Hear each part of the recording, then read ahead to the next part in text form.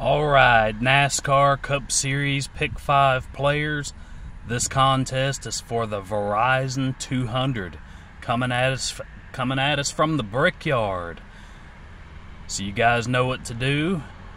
Get your picks in by the drop of the green flag on Sunday at the Brickyard.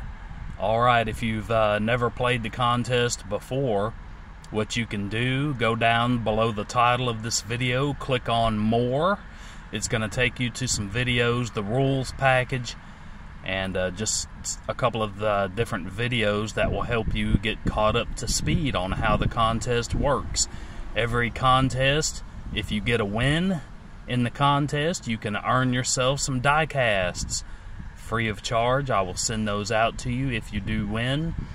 This is a points contest, so if you haven't played before, three races to go. This is one of them. You get a contest win, you're going to move into the round of 16, the playoffs. The regular season champion will uh, earn $50. The overall champion, whoever makes it into that final four and comes out the champion, that person will win $100. All right.